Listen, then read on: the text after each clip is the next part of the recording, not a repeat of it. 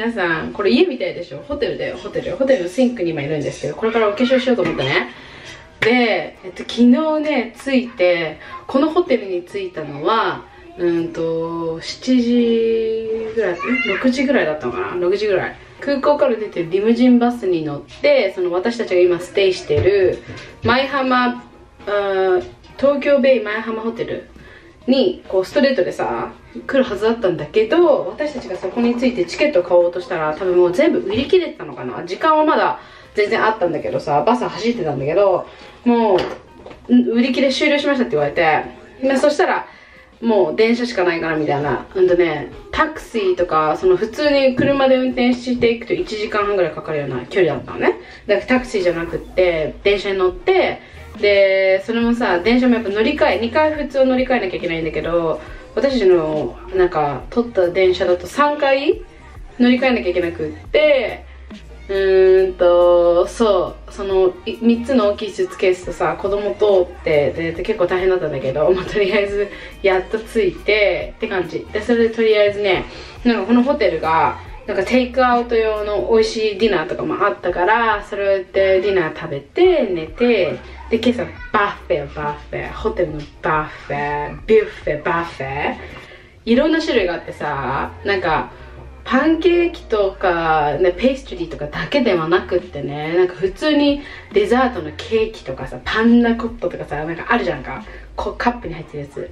あと抹茶のムースとかさうーそういうのもいっぱいあったし。超美味しかった。あとなんか日本のご飯とかお味噌汁になんか和え物系とか漬物系とかさ納豆とか梅干しとか昆布とかなんかもうそうなんかもうかゆいところにも手届くようなものとかいっぱい置いてあってでお魚とかもあったじゃん。でカレーとかもあるわけ朝なのに。ででもちろんパンケーキとかうんとそのペーストリー系パン系なんか美味しい小さいパンじゃないクロワッサンからさチョコレートのクロワッサンとかさあとオレンジディあデニッシュとかうんなんかいろいろ本当にいろいろたくさん種類があっても子供たちすっごい楽しいし私たちも楽しかったけどもう子供がわーなっててもう自分たちはもうできるだけ頑張って食べれるのを食べたっていう感じだったからでも私はね納豆ご飯とか昆布とか漬物とかさあと和え物系なんかごま和えとかうん、ひじきひじきとかさなんかあとな生子の味噌汁とか。超良かった。明日もねこの朝まうんと3日間ここステイしてるんだけどうんとさ明日も明後日もその同じブレイクファーストがついてるからもうすごい楽しみよ。そう。でも子供にはすごい良かったし私たちもすごい楽しんでましたよ。私はこれからねメイクをしようと思うんだけどマスクするじゃんか。だからここしか出ないじゃね私前髪があるからさおでこも隠れるってことをさねでラッシュエクステンションも付け直してきたの。自分で。だからねもうあれなんだよ。まあまあ化粧水とかねえんだよなそうなるとっていうね。ででもなんか一応ディズニーだからやろやった方がとか思うかもしれないんだけど。てか思うんだけど自分で。でもそんなに別にもう隠れてくからさ全部っていう話だよね。え。じゃんとりあえず眉毛だけやるかや。眉毛だけやるかした眉毛だけさキリッとした感じにしようか。こういう感じでトラベルキットはこういう感じで持ってきたのね。そうそうそうそうそう。やっぱ子連れのあれは大変だね。3人もいるとね、まあ、お兄ちゃんがもう10歳だからさあの全然押せるからスーツケース、まあ、それ結構助かったけど3歳きつい3歳はすげえわ。3歳大変だなと思いますわ。ね。昨日さあのタクシーのおじさんあのこの舞浜駅に着いてからホテルに来るまでタクシーに乗ったんだよ。でもう結局2台になっちゃってね。荷物もあるし子供もいるし5人家族だから2台で行くことになって。で行ってる時にさうんとお金払うじゃん。でそこであそうだティップ払わなくていいんだとか思って 当たり前のことなんだけど。はあと思ったんだけどね、えっと、800円だったの。この舞浜駅から自分のホテルまで800円だったんだよ。だから1000円あげてあのお釣りあの自分のなんか使ってくださいとか言ってて渡してるおほうほうほとか言って言ってたんだけど。今日はそうです。ディズニーシーに行くの。あのですねアメリカに住んでいる海外に住んでるお母さんたちでディズニーランドに行くのをプランする方日本のディズニーランドあのさチケット買えなくないなんかアメリカのカードが通らないかなんかで何回もトライしたんだけど公式のサイトでさチケットを買おうとするんだけど買えないのよ。で私はそのホテルを取る取ったからホテルがオファーしてるあのほらディズニーチケットもついてきますよ。お部屋に泊まるとみたいなあるじゃない？それを買ったの。だからうんとあディズニーランディズニーチケットを買う権利。あとねそのホテルのうんとお部屋を取るときにさチケット代も払ってないのね。うんとそのプランがそのチクディズニーチケットを買う権利をもらえますよっていうあのプランなんだよ。でねだからうんとそのここに来てほらステイするじゃん。でその時にチケットを買えるっていう権利なわけ。だから、えっと、1日目がディズニーシーに行って2日目にディズニーランドに行くっていうプランなんだけどそう。それをそれで、えっと、どうにかディズニーのチケットを購入することができました。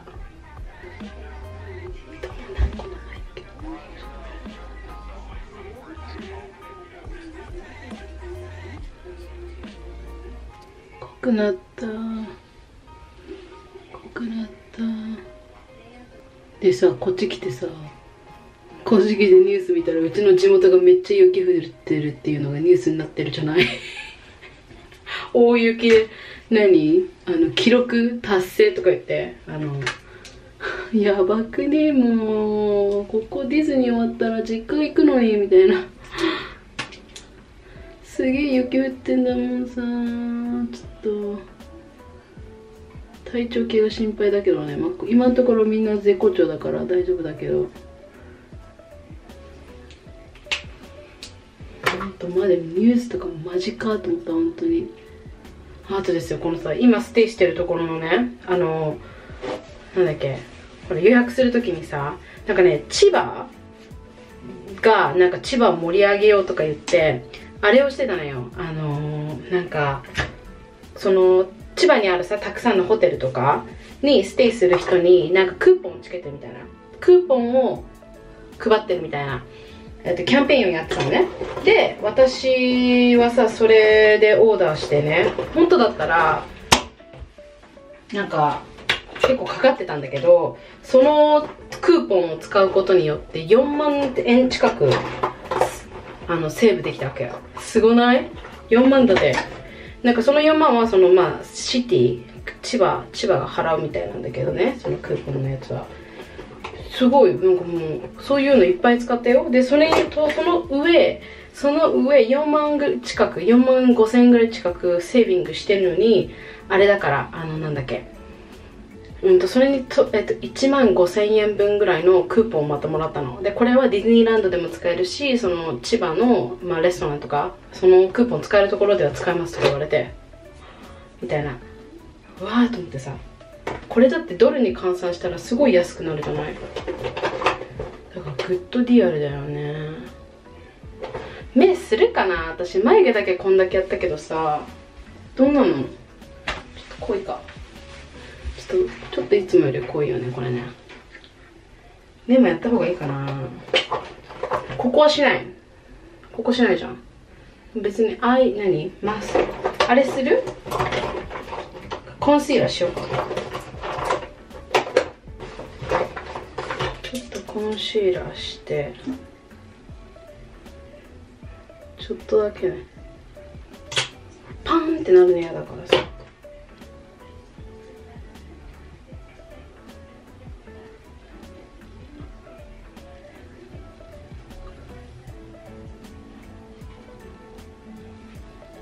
れさ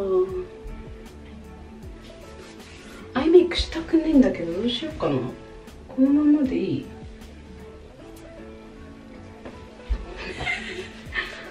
どうなんよし。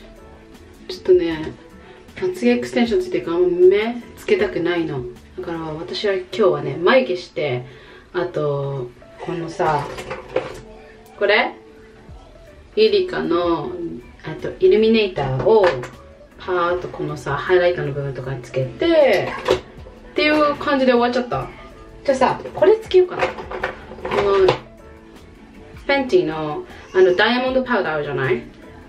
ダイヤモンドボンブ。っていうキラキラしたやつなんだけどね。これすごいのピグメントが。ピグメントがすごいんだよ。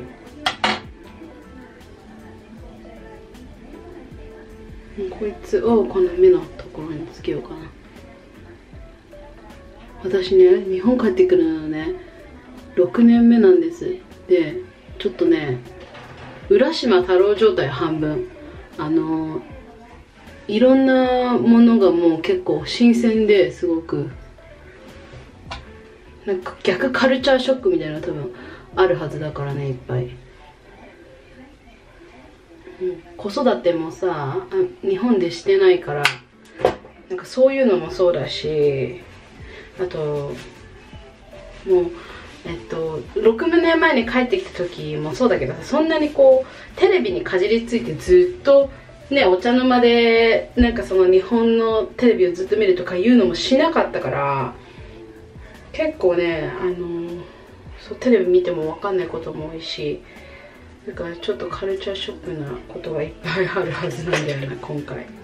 そう今回はこのディズニーランドが終わったらもうほんとうちの地元でゆっくりする予定だからねテレ家にいる時間も多いだろうし。そうそんな感じ。こんなでいい？ち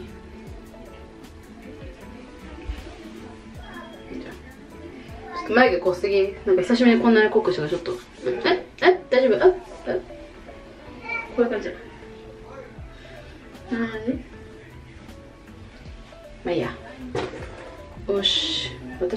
たから。簡単やね。この目のこれ見える？このダイヤモンドバーン。いいっしょ。OK すごいね。あの日本の子あのマスクしてんのにフルメイクするじゃん。こことかみんなしてないんかや。どうなん？どうしてんの？うー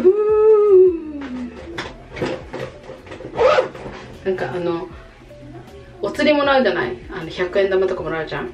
それがさだんだんだんだんこのこの財布の場所を取ってきてボーンってなんかすっげえ今でかくなってる財布が。アメリカだとねカードかそのカードだし大体カードだし、まあ、ハワイでもねあのキャッシュが結構使うこと多いんだけどほらペーパーじゃない。あのコイン使わないからねあんまり。だからそれで小銭がいっぱいある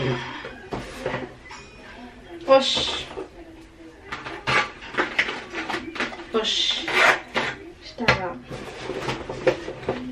あそしてねディズニーランドね行くじゃない？このねホテルでえっとウーバー車を貸してくれるの。1日800円で貸してくれる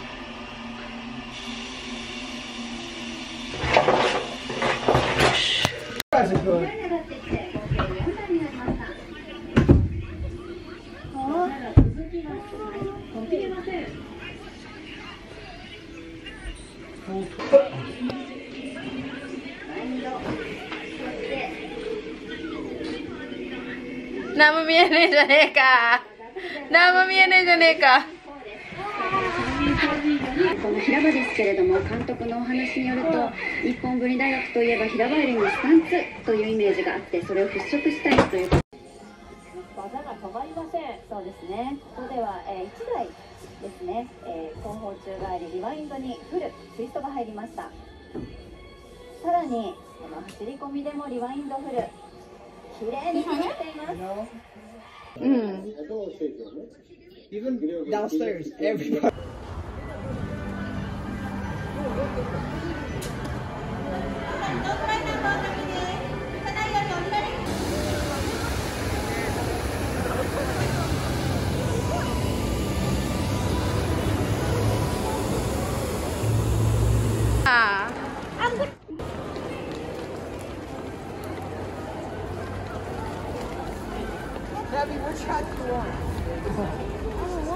I don't want those. ディズニーランド来たよ。ディズニーランド来たよ。あそこにキャラクターがいて近づいていっております。私たち。あーどっか行っちゃう。あーどっか行っちゃう。行っちゃった。どこ行くの。あ写真撮るよってやつか。はいやーやばエリ You know, I think you cannot touch them. あー Every, every, あー他のもいる Girl, you wanna take a picture with her?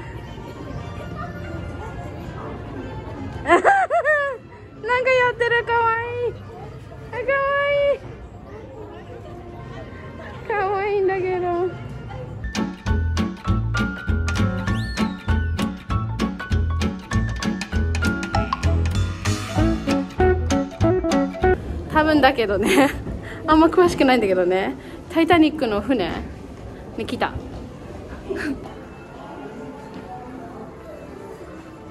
これ2回行っていいんですか？あ、これは3倍ですね。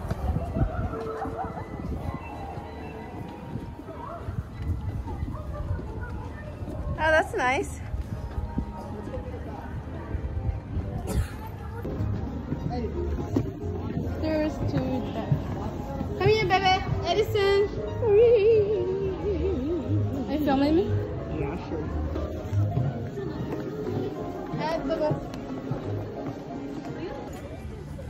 もっと前どうぞここまでいいです。よ写真撮れる写真撮っていいの？一緒に？ああ一緒に一緒に。あ本当？広がっての撮影ですね。ああそうなんですね。かわいい。ん？何これおいしそうちょっとコーヒーだよやったフロリ？はい、えっと、ビデオの中で話すのが減ってきてたので、ボイスオーバーに変えようと思います。見てこれ、庭。庭にさ、ブロッコリーとかケールとかがね、植えてあったの。これは見せるためなのか、使ってるのか分かんなかったけど、ディズニーランドの中に、あの、こういう感じでファームがあって、ちょっと感動したからビデオ撮りました。えっと、私たちはディズニーシーの中で、ストローラーを2つ押してるんですね。えっと1個が自分たちが持ってきたものででもう1つなんだけどそのもう1つは、うんとね、ステイしているホテルから1日800円で借りることができるんですね。なので、うん、と貸してもらって予約して貸してもらってでそれを一応フローレンスは歩けるんだけど6歳だから。だけどやっぱりディズニーランド広いからちょっと疲れたりとかすると抱っことかおんぶってなっちゃうんでもうその時用にもうがっつりと今回は借りてっていう感じで、えっとディズニーシーを満喫しました。はい。この貸し出しサービスはそのディズニーシーとかディズニーランドの周りのホテル以外にもディズニーランドの中ディズニーシーの中のあの赤ちゃんの何て言うのかな場所があるんですよ。そこに行くと借りることもできるみたいなんで、まあ、チェックしてみるといいかもしれないですね必要な人は。チケット購入なんですけど私たちはこの日の朝朝ごはんを食べてでその後にうんとそのホテルのカウンターのところに行ってディズニーのチケット買いたいんですけどっていう話をしました。でその、えっと、お話しした方が私のお部屋のプランをチェックしてくれてあこのお部屋のステイしている方はこういった感じのプランでご購入されてますねみたいな。でその内容がそのディズニーのチケットの購入できる特権付きっていうやつだったんででその場でそのなんだろう後ろからそのディズニーのチケットを持ってきてじゃあ何枚必要ですか？ってなってで私はそこであのお金を払ってでディズニーのチケットもこの紙でもらいました。でうんとなんかいろいろアプリとか言ってたけど結局あんまり使わなくってアプリは本当に私一応持ってたけどディズニーのアプリを携帯の中に入れてたけど必要な時はもう自分がどこにいるかっていう、まあ、マップをチェックするっていうだけで使いました。なんか大体今回行った時にそのこれに乗りたいとかこれは絶対に行かなきゃみたいなプランを全然立てないで行ったからなんでうんとうんなんかマップを見るっていうだけであの使った感じでしたね。うん。私たちがディズニーシーとディズニーランドでも驚いたことがあるんですけどそれはあのストローラーをしてたじゃないですか乳母車であのアトラクションの隣にもうその乳母車ねストローラーを持たせられるあ場所がも設けてあるんですよ。でそこに置いていくんだけど戻ってきてもまあ、絶対にあるわけですよね。盗まれてる可能性がないというか。で中にはねあの多分金銭的なものを持ってってると思うけどバッグを置いていく人とかもいてだけどなんか全然そういったところが海外と違ってこの安全というかなんか安心感があるうん100%安心ではないけどもやっぱり100%盗まれないっていう可能性はないと思うけどでも他と海外と比べたらもうそういったところは日本はやっぱり安全なんだなっていうのをものすごく実感しました。もう結構翌日だったので時差ボケがすごくてですね。うんとなんだかんだディズニーランドに4時間ぐらいしかいなくってでもその後すごく疲れちゃったから結局ホテルに戻ってきたんですよ。だからあのディズニーシーであのクリスマスの時期にやってたいい大きいショーとかも見ずにうんと、まあ、帰ってきた感じだったんですよね。でもすごく私たちの中では充実してて楽しい一日でした。ではまた次のビデオで会いましょう。バイバイ。